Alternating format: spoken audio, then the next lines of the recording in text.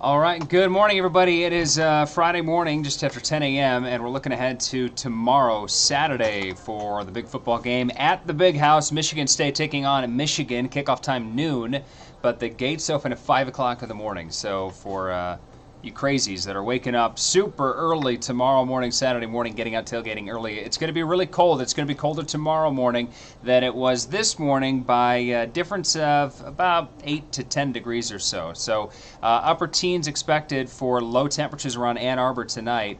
And tomorrow, the good news is, though, it looks like a dry day, and we'll likely see more of the sun out tomorrow, too. There's a cold front that's going to be moving across Michigan today.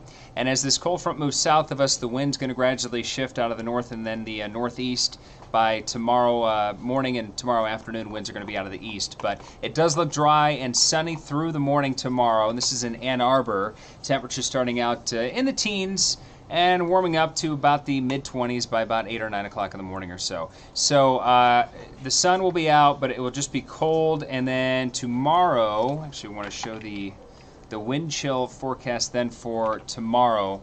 Uh, in the morning, wind chills around the low to mid teens. Afternoon, wind chills in the mid 20s. So we're in the lower 30s tomorrow. It'll be colder tomorrow afternoon than what we're going to experience this afternoon, but not by much.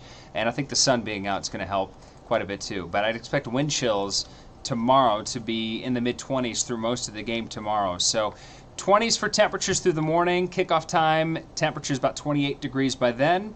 And then afternoon highs are going to be around 31, 32 degrees in Ann Arbor tomorrow. So if you're going to the football game, make sure that uh, you are layering up, especially for the morning if you guys are getting out there super early for, for tailgating. And good news is dry, no snow, and the wind doesn't look too bad either. The wind's going to be around 10, maybe up to 15 miles per hour, so the wind's not terribly strong for us, and uh, it's just going to be a cold morning. But overall, not a terrible day, especially given the week that we just had, but temperatures are still way below average because we averaged the upper 40s this weekend for the middle of November, and we'll have highs only around the lower 30s. So a cold one, but uh, it's going to be dry, and the sun's going to be out, especially through the morning, just a few clouds in the afternoon. So have fun at the game tomorrow.